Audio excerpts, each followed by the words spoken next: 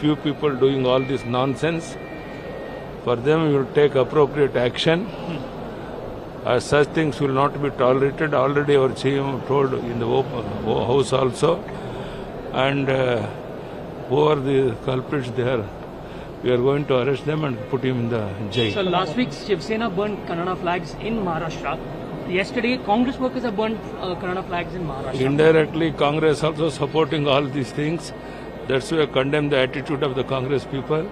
And I will request such things should not be happened in future. Anti-conversion bill today. It will be elected on- Anti-conversion bill, anti-conversion bill already, so many states have already implemented.